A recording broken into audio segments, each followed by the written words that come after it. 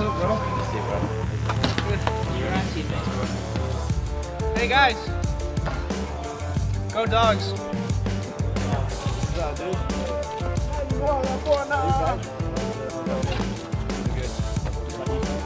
It's an unbelievable moment, you know. I never thought I would actually be a pro from where I come from, but um, I remember uh, going to a game for the first time. I was like, wow, this is incredible. The atmosphere, like, it's something that I've never seen before.